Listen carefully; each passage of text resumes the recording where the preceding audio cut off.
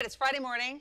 We're all about football on yes, Fridays, we are. right? We are on the go with Ayo this morning. She's at Century High School in Hillsboro to get us ready for some Friday Night Lights. You have such a crowd there this morning, Ayo. There you are. Okay, tell us about this mascot. What's this mascot's name? all right, all right, hold on.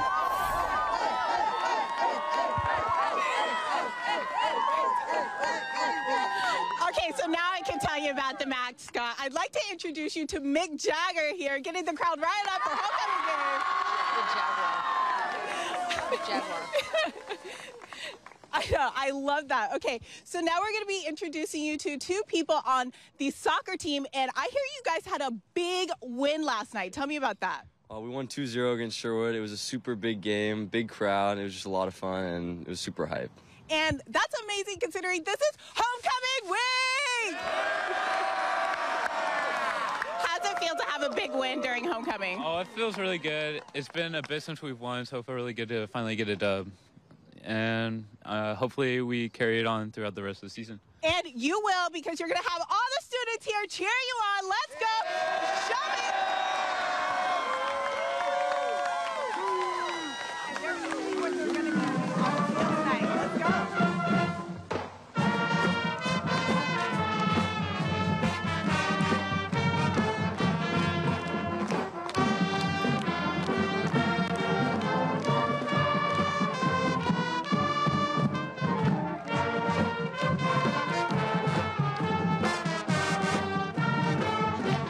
We'll be, we'll be here at Century High School for another segment this morning to show you how they're getting ready for homecoming game.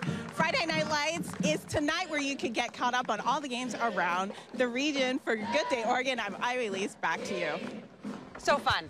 So great. And I have to say too, I love these bands. Yeah, Such me a too. big part of you know these high school sports and the and the celebration and the support. And I always looked forward to that at And our games. I was thinking that I always like a conductor out there. The fact that she gets, she does a move has of her such hands and everybody quiets down. That's Oh, amazing. it's so great. All right, you don't want to miss week seven of Friday Night Lights. That's tonight at 10:30 with Nick Krupke and his team. You can watch the half-hour show live on TV or on the Fox 12 app. You know, uh,